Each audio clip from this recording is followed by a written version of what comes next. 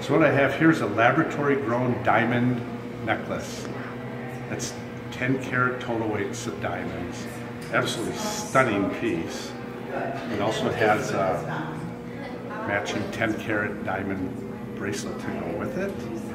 Uh, very unique, very nice way to own a lot of diamonds for not a lot of money, really. There you have a five carat lab grown diamond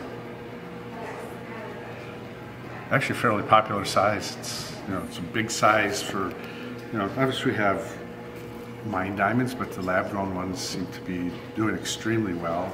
In, all, all over the country, probably all over the world, really, just because of the, the price point on them.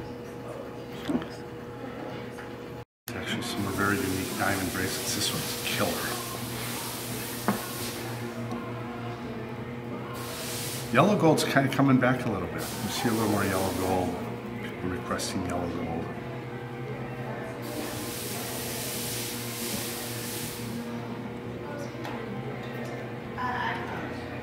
Diamond stud earrings. Everybody needs a pair of diamond stud earrings. They just have to. These are some great ones at four carats.